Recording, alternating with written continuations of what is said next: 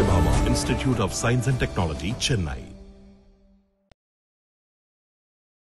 தமிழ்நாட்டில் அடுத்த மாதம் நடைபெறவுள்ள ஊரக உள்ளாட்சி தேர்தலில் பாமக தனித்து போட்டியிட உள்ளதாக அக்கட்சியின் தலைவர் ஜி கே மணி அறிவித்துள்ளார். இது தொடர்பான அறிக்கையில் அடுத்த மாதம் இரண்டு கட்டங்களாக நடைபெறவுள்ள ஒன்பது மாவட்ட ஊரக உள்ளாட்சி தேர்தலில் பாமக சார்பில் போட்டியிடுவோர் இன்றும் நாளையும் விருப்பு மனுக்கள் அளிக்கலாம் என்றும் கூறியுள்ளார். ஒவ்வொரு மாவட்டத்திலும் மாநில துணை பொதுச் செயலாளர்கள் விருப்ப மனுக்களை பெற்றுக் கொள்வார்கள் என்றும் அவர் தெரிவித்துள்ளார். கட்சியின் வளர்ச்சி கருதி இந்த தேர்தலில் தனித்து போட்டியிடலாம் என்று நிர்வாகிகள் தெரிவித்ததன் அடிப்படையில் இந்த முடிவை மேற்கொண்டிருப்பதாகவும் ஜி கே மணி குறிப்பிட்டுள்ளார்.